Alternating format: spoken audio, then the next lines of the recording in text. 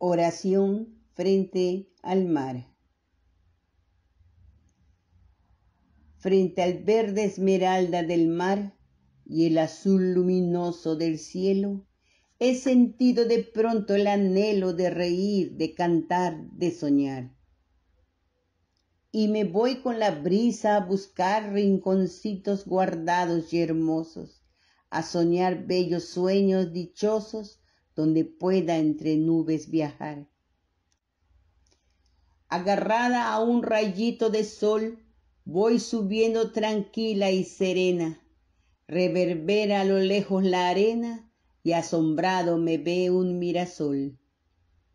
Y así llego a los campos extraños, silenciosos, obscuros y fríos, donde Dios colocó el mundo mío, uno más en su enorme rebaño.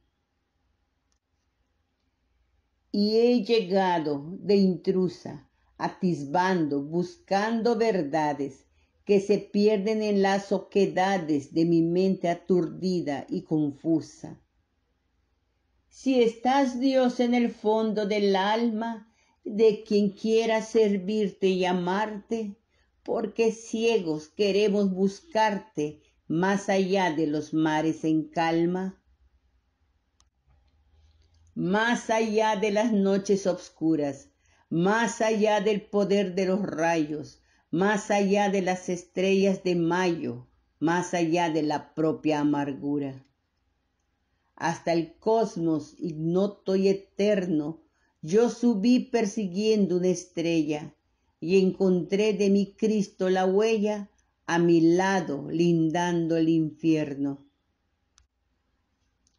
Aquí estoy y aquí estás, Dios de paz, y quisiera poder no dejarte, mas soy carne y no puedo mirarte, por mis culpas no me hallo capaz. Yo soy tierra, ignominia y pecado, tú eres fuente de amor y de luz, y no puedo mirarte, Jesús, aunque quiera tenerte a mi lado. Si estás Dios en el fondo del alma de quien quiera servirte y amarte, porque ciegos queremos buscarte más allá de los mares en calma, más allá de las noches obscuras, más allá del poder de los rayos, más allá de las estrellas de mayo, más allá de la propia amargura. Hasta el cosmos ignoto y eterno, yo subí persiguiendo una estrella y encontré de mi Cristo la huella a mi lado lindando el infierno. Aquí estoy y aquí estás, Dios de paz, y quisiera poder no dejarte, mas soy carne y no puedo mirarte por mis culpas no me hallo capaz. Yo soy tierra, ignominia y pecado, tú eres fuente de amor y de luz, y no puedo mirarte, Jesús, aunque quiera tenerte a mi lado.